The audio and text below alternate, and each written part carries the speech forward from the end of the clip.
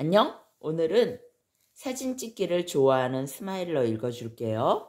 스마일러. 하루에 네 번 사진 찍기를 좋아하는 스마일러.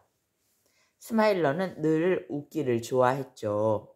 스마일러가 웃으면 눈은 반달처럼 둥그러지고 입꼬리는 흔들 의자처럼 쓱 올라가지요.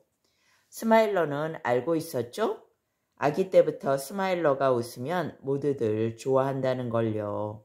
하지만 걸어다니기 시작한 후로는 아이쿠 잘 걷네 손뼉치며 응원하느라 스마일러가 웃는 걸 못 보는 거예요. 그래서 스마일러는 생각했죠?